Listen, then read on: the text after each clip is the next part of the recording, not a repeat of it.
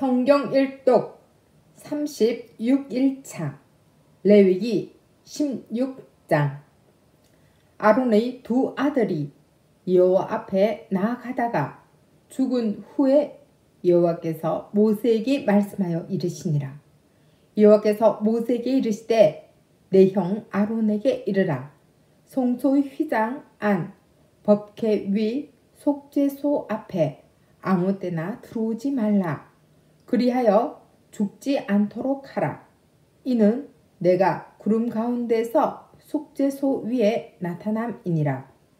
아론이 성소에 들어오려면 수송아지를 속죄 제물로 삼고 순양을 본 제물로 삼고 거룩한 세마포 속옷을 입으며 세마포 속바지를 몸에 입고 세마포 띠를 띠며 세마포 관을 쓸지니 이것들은 거룩한 옷이라 물로 그의 몸을 씻고 입을 것이며 이스라엘 자손의 회중에게서 속죄 제물로 삼기 위하여 순념소 두 마리와 번제물로 삼기 위하여 순양 한 마리를 가져갈지니라. 아론은 자기를 위한 속죄 제의 수송아지를 들이대 자기와 집안을 위하여 속죄하고 또 그 두 염소를 가지고 회막 문 여호와 앞에 두고 두 염소를 위하여 제비 뽑되 한 제비는 여호와를 위하고 한 제비는 아사세를 위하여 할지며 아론은 여호와를 위하여 제비 뽑은 염소를 속죄제로 드리고 아사세를 위하여 제비 뽑은 염소는 산채로 여호와 앞에 두었다가 그것으로 속죄하고 아사셀을 위하여 광야로 보낼지니라. 아론은 자기를 위한 속죄제의 수송아지를 들이대 자기와 집안을 위하여 속죄하고 자기를 위한 그 속죄제 수송아지를 잡고 향로를 가져다가 여호와 앞 제단 위에서 피운 불을 그것에 채우고 또 곱게 간 향기로운 향을 두 손에 채워 가지고 휘장 안에 들어갔어.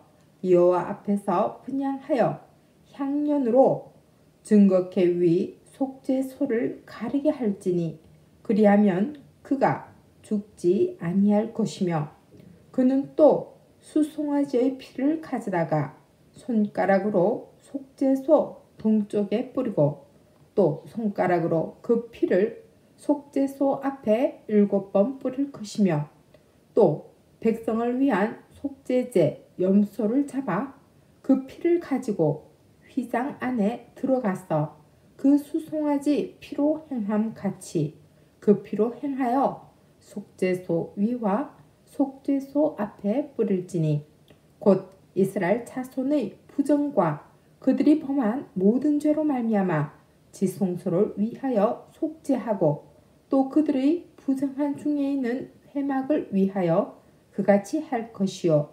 그가 지성소에 속죄하러 들어가서 자기와 그의 집 안과 이스라엘 온 회중을 위하여 속죄하고 나오기까지는 누구든지 회막에 있지 못할 것이며 그는 여호와 앞 재단으로 나와서 그것을 위하여 속죄할지니 곧 그 수송아지의 피와 염소의 피를 가져다가 재단 귀퉁이 뿔들에 바르고 또 손가락으로 그 피를 그 위에 일곱 번 뿌려 이스라엘 자손의 부정에서 재단을 성결하게 할 것이요.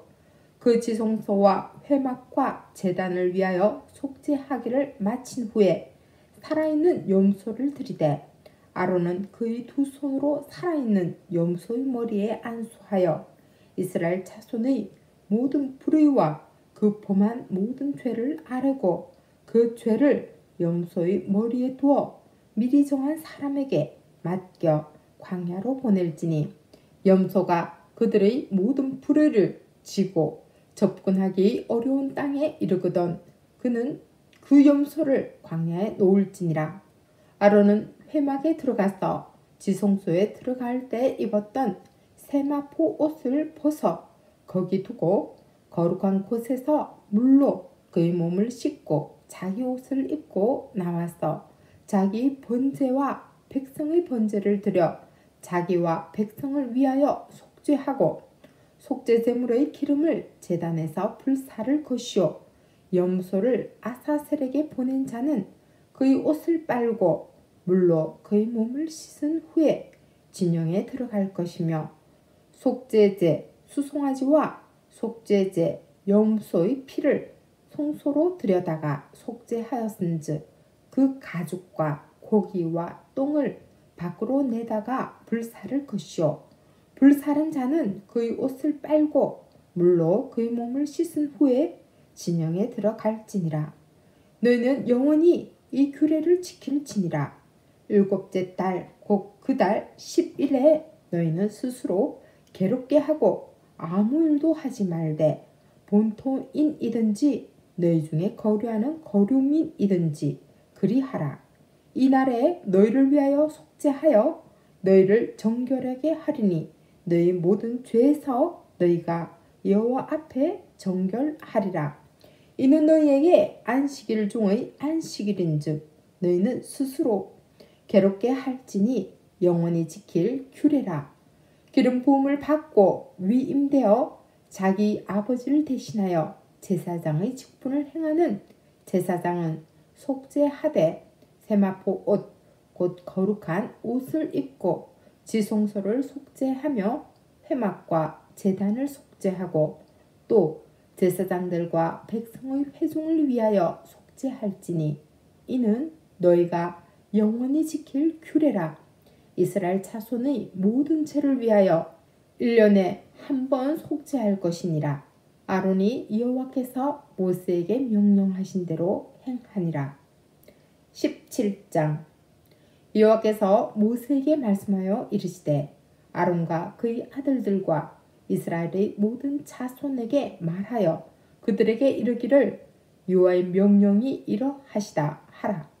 이스라엘 집의 모든 사람이 소나 어린 양이나 염소를 진영 안에서 잡든지 진영 밖에서 잡든지 먼저 회막 문으로 끌고 가서 여호와의 성막 앞에서 여호와께 예물로 드리지 아니하는 자는 피 흘린 자로 여길 것이라. 그가 피를 흘렸은즉 자기 백성 중에서 끊어지리라. 그런즉 이스라엘 자손이 들에서 잡던 그들의 재물을 회막 문 여호와께로 끌고 가서 제사장에게 주어 화목제로 여호와께 드려야 할 것이요. 제사장은 그 피를 회막문 여호와의 제단에 뿌리고 그 기름을 불살라 여호와께 향기로운 냄새가 되게 할 것이라.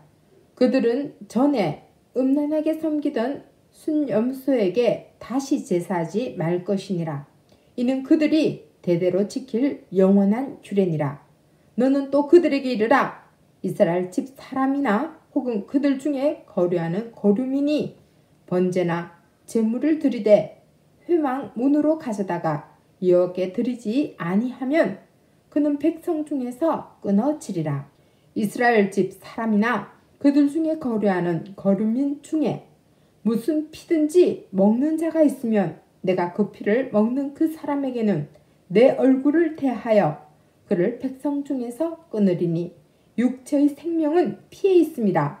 내가 이 피를 너희에게 주어 재단에 뿌려 너희 생명을 위하여 속죄하게 하였나니 생명이 피에 있으므로 피가 죄를 속하느니라. 그러므로 내가 이스라엘 자손에게 말하기를 너희 중에 아무도 피를 먹지 말며 너희 중에 거류하는 거류민이라도 피를 먹지 말라 하였나니 모든 이스라엘 자손이나 그들 중에 거류하는 거류민이 먹을 만한 짐승이나 새를 사냥하여 잡거든 그것의 피를 흘리고 흙으로 덮을 지니라. 모든 생물은 그 피가 생명과 일체라. 그러므로 내가 이스라엘 자손에게 이르기를 너희는 어떤 육체의 피든지 먹지 말라 하였나니 모든 육체의 생명은 그것의 피인즉 그 피를 먹는 모든 자는 끊어지리라. 또 스스로 죽은 것이나 들짐승에게 찢겨 죽은 것을 먹은 모든 자는 본토인이거나 거류민이거나 그의 옷을 빨고 물로 몸을 씻을 것이며 저녁까지 부정하고 그 후에는 정하려니와 그가 빨지 아니하거나 그의 몸을 물로 씻지 아니하면 그가 죄를 담당하리라. 18장. 여호와께서 모세에게 말씀하여 이르시되 너는 이스라엘 자손에게 말하여 이르라. 나는 여호와 너희 하나님이니라. 너희는 너희가 거류하던 애굽 땅의 풍속을 따르지 말며 내가 너희를 인도할 가나안 땅의 풍 속과 규례도 행하지 말고 너희는 내 법도를 따르며 내 규례를 지켜 그대로 행하라. 나는 너희의 하나님 여호와이니라. 너희는 내 규례와 법도를 지키라. 사람이 이를 행하면 그로 말미암아 살리라. 나는 여호와이니라. 각 사람은 자기의 살붙이를 가까이 하여 그의 하체를 범하지 말라. 나는 여호와이니라. 내 어머니의 하체는 곧 내 아버지의 하체이니 너는 범하지 말라. 그는 내 어머니인즉 너는 그의 하체를 범하지 말지니라. 너는 내 아버지의 아내의 하체를 범하지 말라. 이는 내 아버지의 하체니라. 너는 내 자매 곧 내 아버지의 딸이나 내 어머니의 딸이나 집에서나 다른 곳에서 출생하였음을 막론하고 그들의 하체를 범하지 말지니라. 내 손녀나 내 외손녀의 하체를 범하지 말라. 이는 내 하체니라. 내 아버지 아내가 내 아버지에게 낳은 딸은 내 누이니 너는 그의 하체를 범하지 말지니라. 너는 내 고모의 하체를 범하지 말라. 그는 내 아버지의 살붙이이니라. 너는 내 이모의 하체를 범하지 말라. 그는 내 어머니의 살붙이이니라. 너는 내 아버지 형제의 아내를 가까이 하여 그의 하체를 범하지 말라. 그는 내 숙모니라. 너는 내 며느리의 하체를 범하지 말라. 그는 내 아들의 아내이니 그의 하체를 범하지 말지니라. 너는 내 형제의 아내의 하체를 범하지 말라. 이는 내 형제의 하체니라. 너는 여인과 그 여인의 딸의 하체를 아울러 범하지 말며 또 그 여인의 손녀나 외손녀를 아울러 데려다가 그의 하체를 범하지 말라. 그들은 그의 살붙이이니 이는 악행이니라. 너는 아내가 생존할 동안에 그의 자매를 데려다가 그의 하체를 범하여 그로 질투하게 하지 말지니라. 너는 여인이 월경으로 불결한 동안에 그에게 가까이 하여 그의 하체를 범하지 말지니라. 너는 내 이웃의 아내와 동침하여 설정함으로 그 여자와 함께 자기를 더럽히지 말지니라. 너는 결단코 자녀를 몰렉에게 주어 불로 통과하게 함으로 내 하나님의 이름을 욕되게 하지 말라. 나는 여호와이니라. 너는 여자와 동침함 같이 남자와 동침하지 말라. 이는 가정한 일이니라. 너는 짐승과 교합하여 자기를 더럽히지 말며 여자는 짐승 앞에 서서 그것과 교접하지 말라. 이는 문란한 일이니라. 너는 이 모든 일로 스스로 더럽히지 말라. 내가 너희 앞에서 쫓아내는 족속들이 이 모든 일로 말미암아 더러워졌고 그 땅도 더러워졌으므로 내가 그 악으로 말미암아 벌하고 그 땅도 스스로 그 주민을 토하여 내느니라. 그러므로 너희 곧 너희의 동족이나 혹은 너희 중에 거류하는 거류민이나 내 규례와 내 법도를 지키고 이런 가정한 일의 하나라도 행하지 말라. 늘 전에 있던 그 땅 주민이 이 모든 가정한 일을 행하였고 그 땅도 더러워졌느니라. 너희도 더럽히면 그 땅이 너희가 있기 전 주민을 토함같이 너희를 토할까 하노라. 이 가정한 모든 일을 행하는 자는 그 백성 중에서 끊어지리라. 그러므로 너희는 내 명령을 지키고 너희가 들어가기 전에 행하던 가정한 풍속을 하나라도 따름으로 스스로 더럽히지 말라. 나는 너희 하나님 여호와이니라. 아멘.